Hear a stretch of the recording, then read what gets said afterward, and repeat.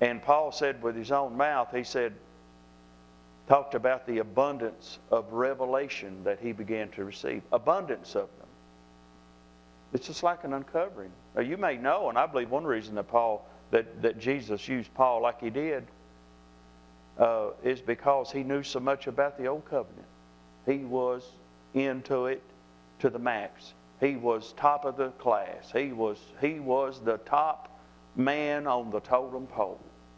He was it at that time. He knew the law inside out. He knew it. He knew it. He probably knew more about it just about than anybody and maybe people put together. And that's why he had such a zeal to stop this thing that was coming up. Thought it was wrong about the Christians and Jesus.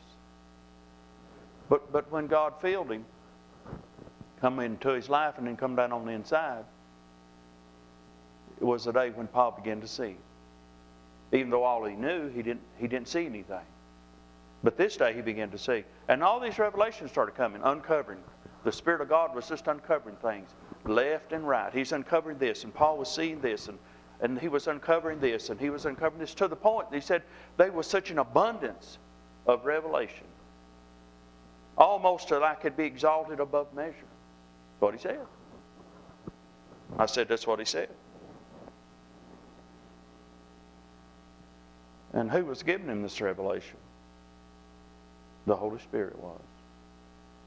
Paul didn't know that the, the, that the Gentiles race of people was, was destined to come into uh, to God's plan. He didn't know that. They, they not, there's not one of them had an idea of it until the Spirit of God revealed it. Peter and them was all over there in Jerusalem with the Jews. They wasn't going out there, going to go over and visit the Gentiles. They didn't know anything of it. And Paul and and and and really, uh, Jesus had to had to show Peter three times the same thing, trying to talk to him and get it into his spirit that something's going to change here today. It's not today, it's already changed. God already, uh, back in the beginning of time, He had already pre planned this thing. But Peter didn't know it. See, this is the mistake people have made. They said, well, they, those, those are apostles. They only knew what God showed them. And today, you know what? We will only know what God shows us. And John said, John the Baptist said, a man can receive nothing. How much is nothing? How much is it? Not hard to figure out, is it? Not complicated, is it? We won't have to go for the next three or four hours trying to figure out what nothing is. It's nothing. He said a man can receive nothing, least it be given him from heaven. Praise God. What's that mean? Unless the Spirit of God reveals something to you, you're not going to have it.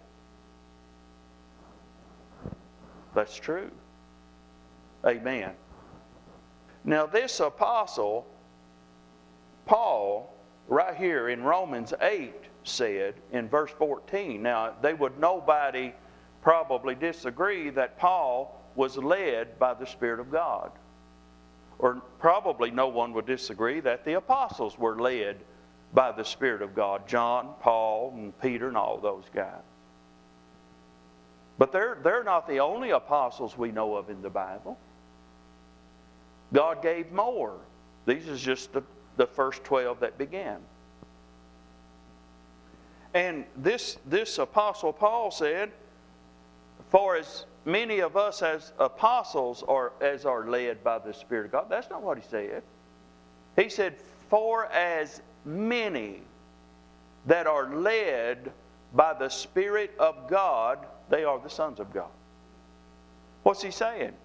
He said it's just not for us apostles. He said, For as many as are led. And you'll find this kind of talk all throughout the Word of God. Are you listening? Amen. For as many as are led by the Spirit of God, by the Holy Spirit, and we, we see throughout the book of Acts and love the book of Acts, love all of them, But we see his working, one working right after the other. He begins to speak and he begins to do and he begins to show. Amen. Begins to speak things. But now let me tell you something too. Being led by the Spirit is not the same as being used by the Spirit.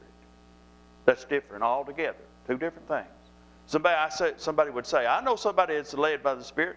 What you really mean is, you know somebody that's used in a gift. That is not the same. No.